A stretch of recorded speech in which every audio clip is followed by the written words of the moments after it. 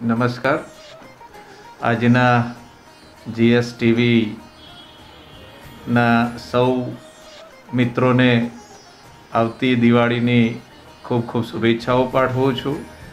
Bharatiya Janata party સાબરકાંઠાના ફરીથી જવાબદારી મને જે પ્રમુખની સોંપવામાં આવી છે, નિષ્ઠાપૂર્વક આગામી ટર્મ સુધી મારી પૂર્ણ કરવાની આપ સૌને જવાબદારી નિભાવવા માટે શક્તિ માગું છું.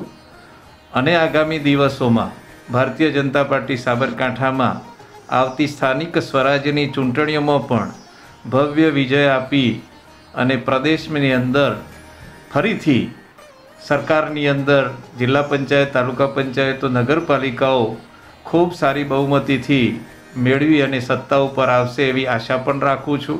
આપ સૌએ જોયું કે આવા મહામારીની અંદર પણ આપણે ગુજરાતની બાય ઇલેક્શનની આઠ સીટો ખૂબ મોટી સરસાઈથી જીતી શક્યા છે.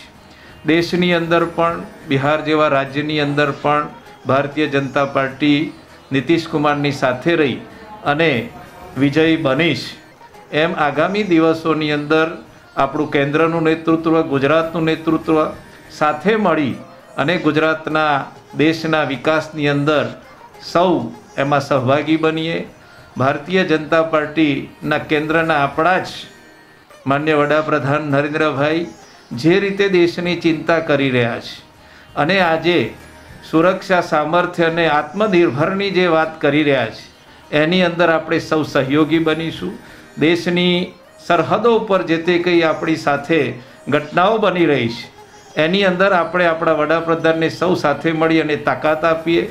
અને આત્મનિર્ભર સ્વદેશીની વાતો વર્ષોથી આપણે સાંભળીશ પણ આપણે એ દિશાની અંદર ખૂબ આગળ વધી, આપણે આપણા જ માલોનું ઉત્પાદન કરી, આપણે સૌ પણ મોટી મોટી કંપનીઓનું ન ખરીદતા, આપણી પોતાની નાના નાના વેપારીઓની દુકાનોની અંદરથી પણ માલ સામાન ખરીદવાનો આગ્રહ રાખીશું, તો સૌને રોજીરોટી મળી રહેશે એવું મારું આ અંગત માનવું છે.